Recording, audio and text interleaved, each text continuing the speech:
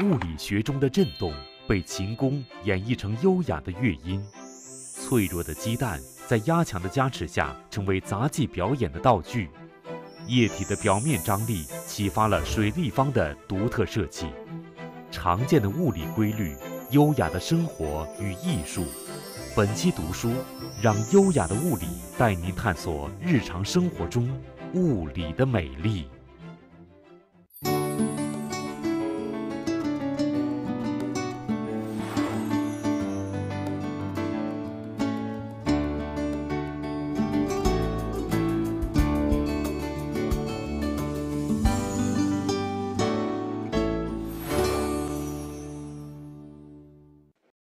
本好书，听段故事。大家好，我是主持人段纯。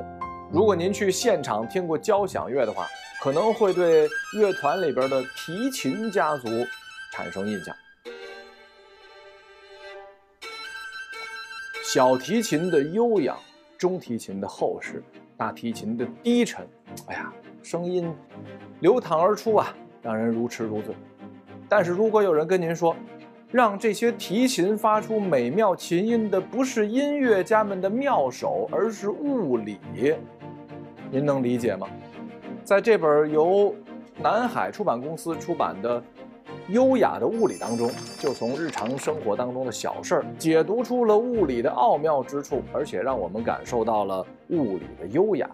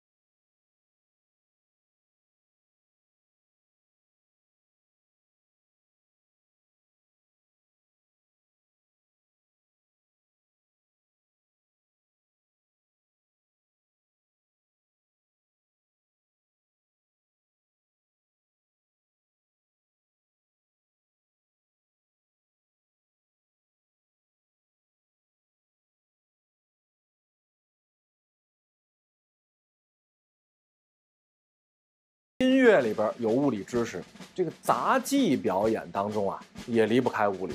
您看，咱们中文里有个词儿叫“如履薄冰”，说这人走在冰面上战战兢兢的状态。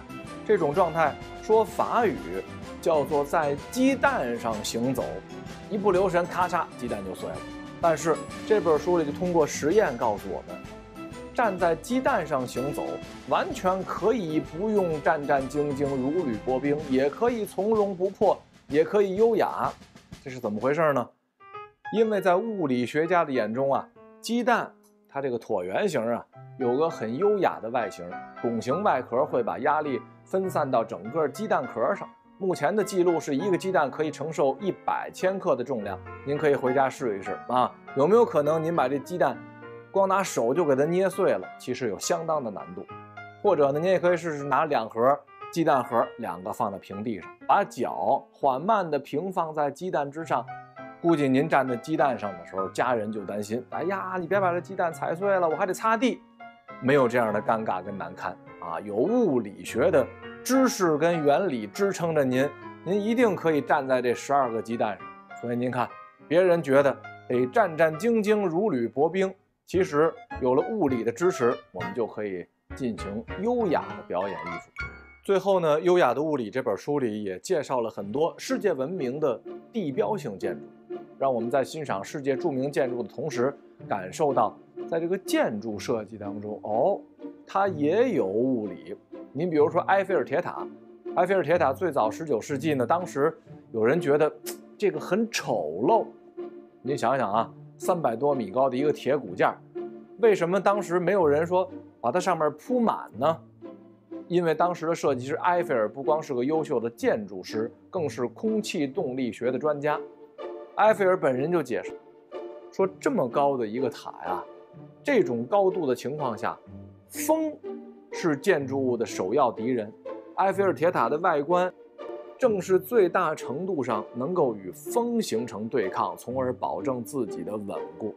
正所谓啊，叫高处不胜寒，越高的建筑越需要跟风相抗衡。再比如说，书中介绍了珍珠项链美丽的悬链线，一串珍珠项链，它由于物理学的作用会呈现出一条几何的线条。这个弧线，哎，如果是一个。漂亮的女士戴，颈部的线条也很优雅，二者能够完美的结合。那么这种悬链线的设计被广泛应用到铁路啊、缆车索道啊、吊桥啊很多建筑。您举个例子就知道了。美国有个金门大桥啊，作为世界上曾经最长的吊桥，金门大桥两边塔桥之间的距离一千两百多米。那么为什么要有这么高的桥塔呢？作者在书中呢，就做了一个简单的实验来解释这个问题。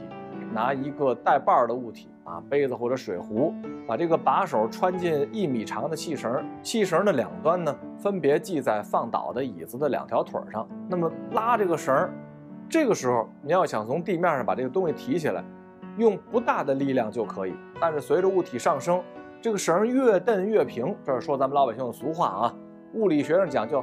绳子本身趋于水平，拉力则必须得增大。所以，如果细绳系在更高处，它就更容易承重。也就是说呢，更高的桥塔可以减少作用在缆绳上的拉力。桥塔越高，支撑桥面的力量就越小。刚才说的呢是两个国外的地标性建筑。那其实咱们中国呀，也有地标性的建筑被收录在这本《优雅的物理》当中。二零零八年，大伙儿都知道北京奥运会。其中有个场馆水立方很有名气，那么您观察过吗？水立方的外观猛一看起来，哎，一个四方的建筑，好像是很多的泡沫。那么这个泡沫之间出现了一百二十度的角，这个角度不是随便设计的。水立方外部的那个气枕呢，它模拟出的正是最优结构的泡沫，符合物理规律。而且根据物理学家的观测呢，日常生活当中的泡沫结构。确实是存在规律的，在这本书里写了，泡沫的每条棱连接三个面，两两之间形成一百二十度角，这个几何规律就是表面张力造成的结果。气泡体积一定的条件下，表面张力会使得泡沫之间的接触面积最小。这种特殊的棱结构也是干泡沫富有弹性的原因。您看，这就叫什么呀？内行啊看门道，那个外行看的它都是热闹。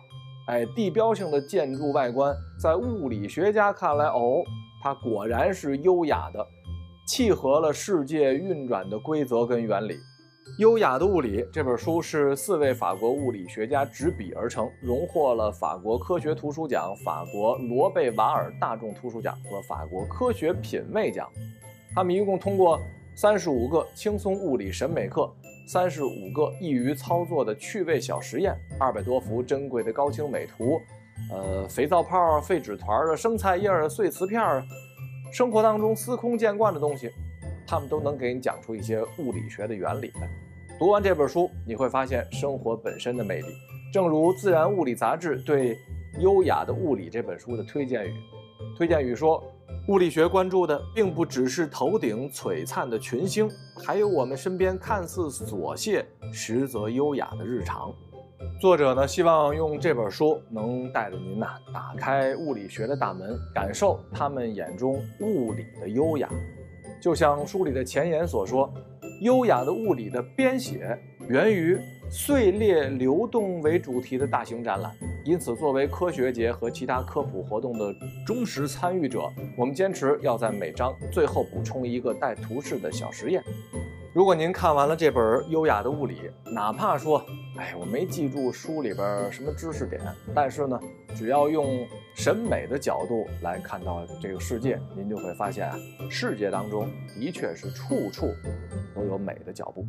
感谢收看本期节目，我是段纯，再会。